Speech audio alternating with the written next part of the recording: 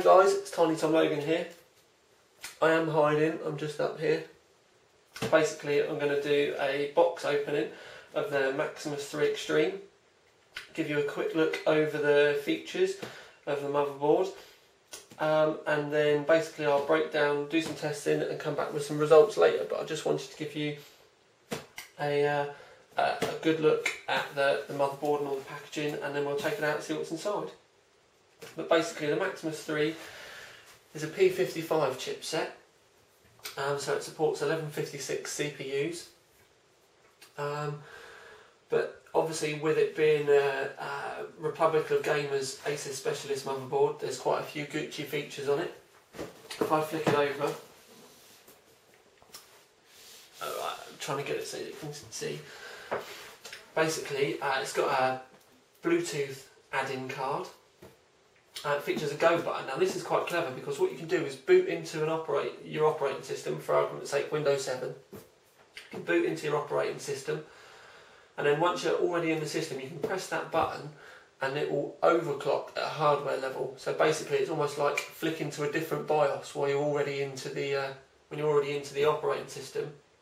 So for argument's sake you could go from your CPU being uh, now I'm not sure whether it will do 3 to 4 gigahertz but in theory, you could have a standard 3 GHz CPU.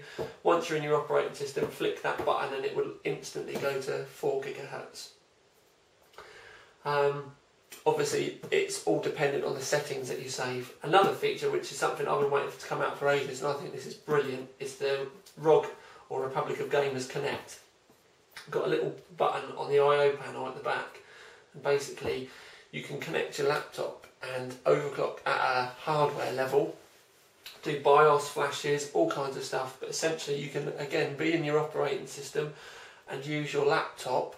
Once you've put some software on there, you can use your laptop to overclock your motherboard uh, pretty much externally. Do it on the fly, so that's amazing. Now the uh, Maximus 3 has got five PCI Express um, slots which you can put a card in each, but I'll go through those features in a minute. Uh, we'll read out what we've got on the back. Uh, chipset is P55. Um, you can have four RAM sticks up to 16 gigabyte. You can overclock the DDR3 up to 2200 megahertz. Um, it supports Intel Extreme Memory Profile, XMP. The expansion slots you can have uh, 60 with um, P55 generally. Uh, it only supports one full 16 times lane.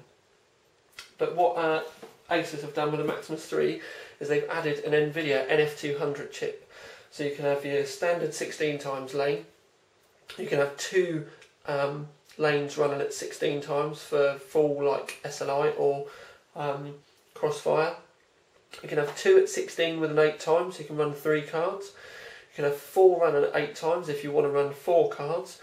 And you can also run all five slots that it has on the motherboard at 8 times. Now that's because of the NF200 chip adds a lot more lanes. Now what Asus have also done is they've added a PLX chip which uh, basically what it does is it takes the PCI Express lanes from 1.1, which would be 250 megabytes a second, and it bumps up to PCI Express 2, which is 500 megabits a second. Now this helps with the SATA 6 and the USB 3 because these work on the PCI Express bus. Now, it says it's Windows 7 ready, it's certified for that. Uh, supports SLI and Crossfire. It supports 1156 i7 and i5 CPUs. Now I'm doing all that and you can't see it, but there's um, bits at the bottom. if we open this up, we get our first look inside at the motherboard. I'll bring it up so you guys can see it better there. But now what I'm going to do is bust it out of the box because you don't want to look at the outside any longer. We actually want to start seeing the motherboard.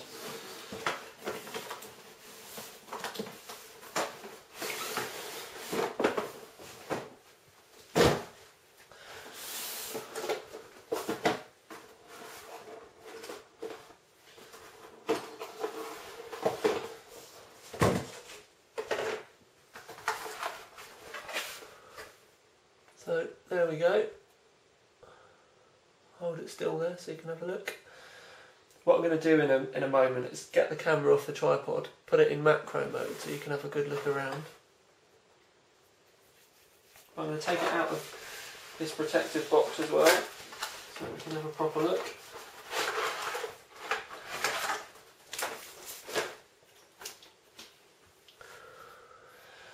Right, so what I'm going to do is I'm going to put it in macro mode and we're going to go around and have a look.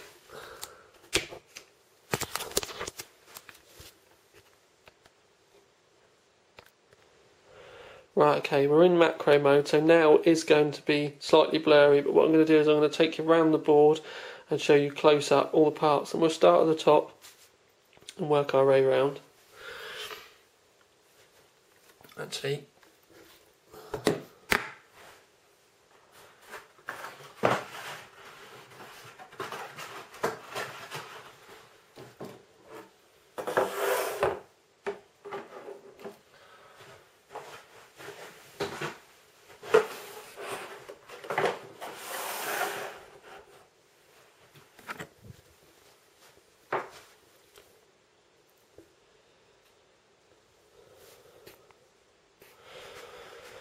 Right.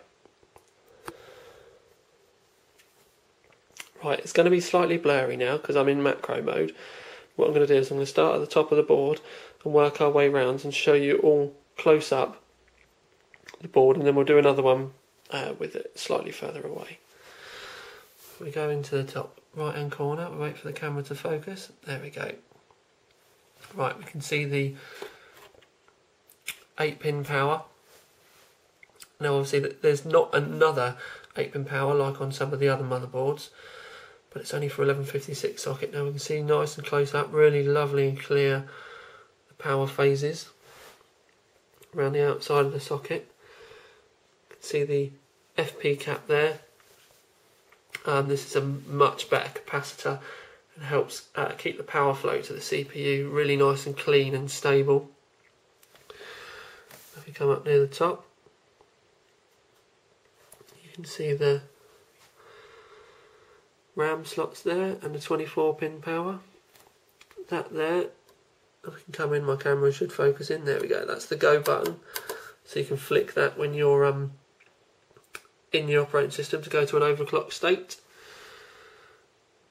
There's the Republic of Gamers heatsink.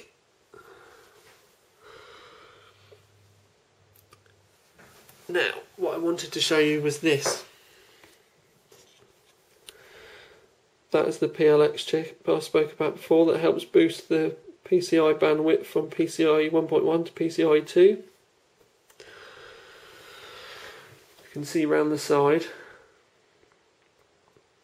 that we've got eight um, SATAs there that actually go on the the normal P55 chip, and then we've got the extra two, which is a J goes on the JMicron chip. You can see the large heatsink there. Now if we come in, let it focus out. That's two BIOS chips there. So you've got um, BIOS flashback. That's a reset switch there. Actually, I do apologise, that's the BIOS button. There's power and reset there.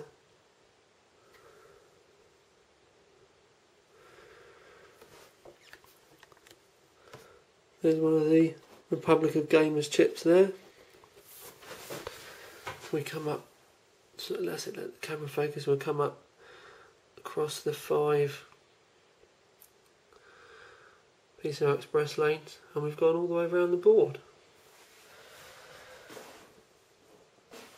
There we go then guys, that's our first look at the Asus Maximus 3 Extreme